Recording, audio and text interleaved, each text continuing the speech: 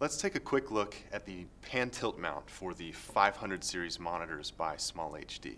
Um, we made this pan tilt mount to solve a few problems, and it's mainly problems found with typical ball mounts that go in a hot shoe. Uh, so this is a replacement for this, but it's superior because with a ball mount, there's a couple of two, two main problems, I guess.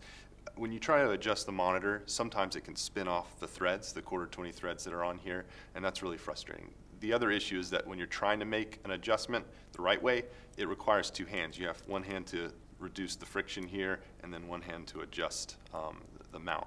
And, and that's a little bit annoying.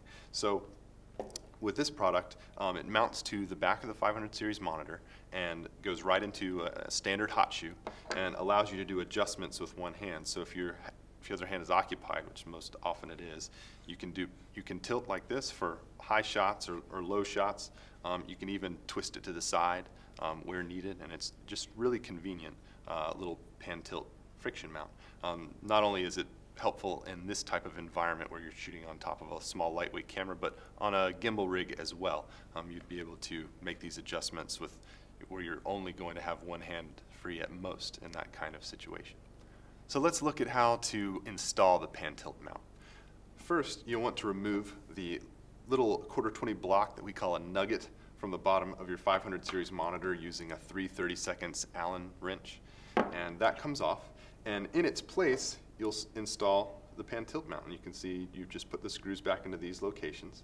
And again, this is really convenient because um, it goes right into that location and this actually can fold up and become nice and compact when you're, when you're done with the day.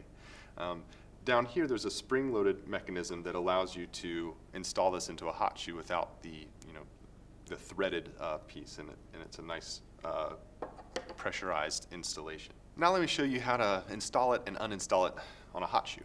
So if it's already on there, you'll just pull back on the spring, and that will ultimately just slide it right off the hot shoe. Um, and then when you want to install, you just pull back on the spring and slide it into the hot shoe. And then once it's there, depending on the hot shoe, you'll need to press on the spring to give a nice tight uh, fit. And once that's done, it should just pan and tilt. And just make sure that your pan and tilt friction adjustment is set appropriately. And, um, and it should be as easy as that.